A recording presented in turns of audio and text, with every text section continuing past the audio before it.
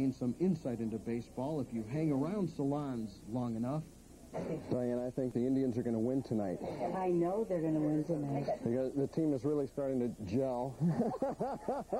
Gary Stromberg, Fox 8 News in Lakewood. Back in the early 50s, my hero was uh, Indians third baseman Al Rosen, and I went to get his autograph. He wanted to know if I slept in my baseball cap because of the way my hair looked. I did.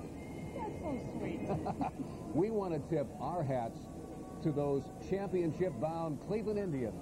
Thank you for sharing your time with us. Have a great evening and do, do it, it right.